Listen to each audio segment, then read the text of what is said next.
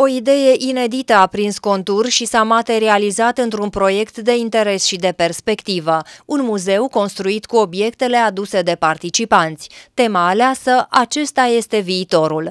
La realizarea acestui proiect au lucrat reprezentanții Muzeului Județean de Artă, Centrul Artistic Baia Mare, Asociația Team for Youth și Colegiul Tehnic CDN Nițescu.